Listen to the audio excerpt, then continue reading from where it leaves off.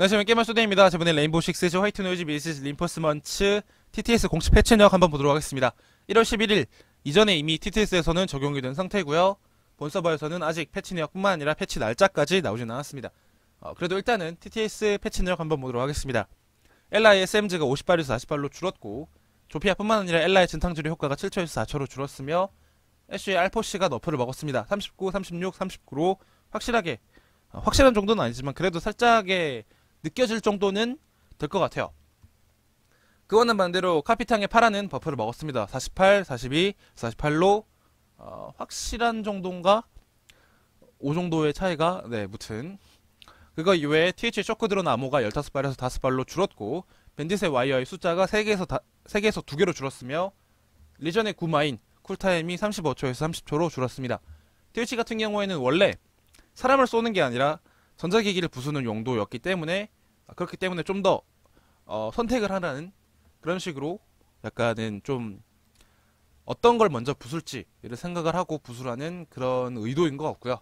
밴드셋 와이어는 뭐 딱히 저는 잘 와닿지는 않는 부분이고 리전의 구마인 같은 경우에는 어, 확실한 확실한 버프까지는 아닌데 그래도 약간은 체감은 하실 수 있을 것 같아요.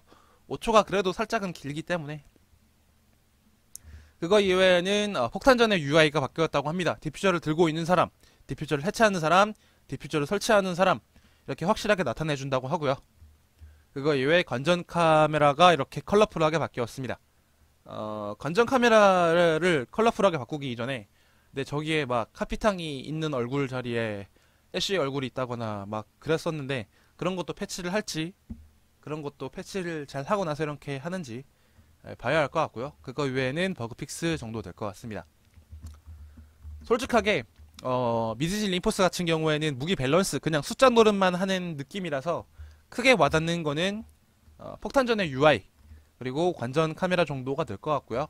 그거 이외에는 크게 막 와닿는 거는 어, 숫자가 확 줄어버린 Twitch shock drone 정도 될 것 같아요.